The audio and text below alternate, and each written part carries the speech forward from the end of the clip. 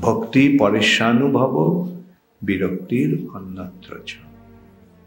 As one develops one devotion and attachment to the Supreme Personality of Godhead, he develops his Virakti.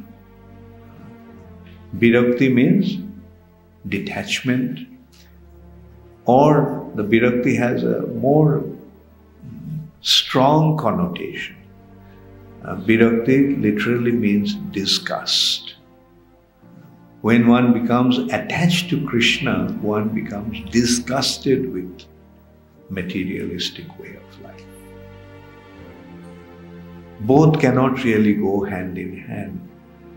Uh, it may take time uh, and it should not be displayed artificially or try to cultivate artificially. It will happen naturally. Like as one develops his attachment to Krishna, he will naturally develop his detachment. And the ultimate goal of life is to become detached from material attachment because material attachment is causing us the bondage to this material nature, which is the cause of suffering.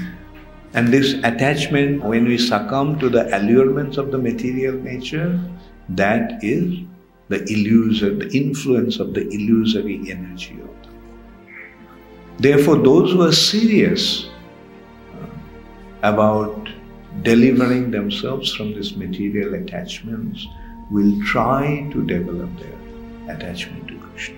Now the question arises, does it mean that when we develop Krishna consciousness, we become, uh, we give up our family, we give up our responsibilities and so forth? No.